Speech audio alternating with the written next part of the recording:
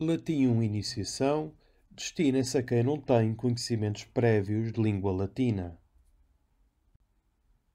Recusamos a ideia de que o latim esteja morto. Bom, não tem falantes nativos, mas usamos-lo diariamente nas mais variadas situações.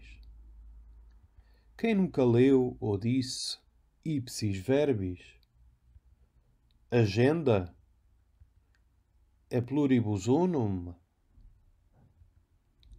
Alibi, per capita, sic, média, in. Mas quando se trata de estudar a língua e a sua estrutura, regressamos às origens. Desde a primeira aula recorremos exclusivamente a textos autênticos, escritos e sentidos por romanos ou por quem usava o latim como língua de produção literária ou científica. Partimos de frases simples, como grafite das paredes de Pompeios, desenterrados de sob as cinzas do Vesúvio.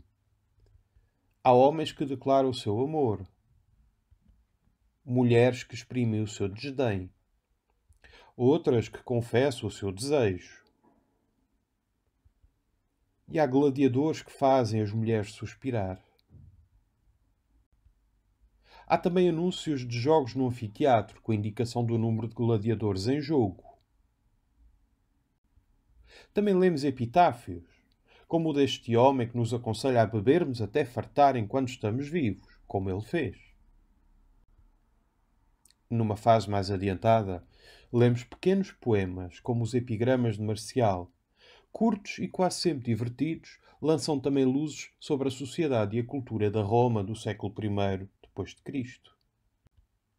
E não deixamos de lado a poesia latina medieval. Carmina Burana ou Hildegarda de Bingen frequentam também as nossas aulas. As nossas aulas estão abertas para os alunos de licenciatura, como unidade curricular ou opcional, mas também para todos os interessados, mesmo não inscritos na nossa ou em qualquer outra faculdade, através do sistema de unidades curriculares isoladas.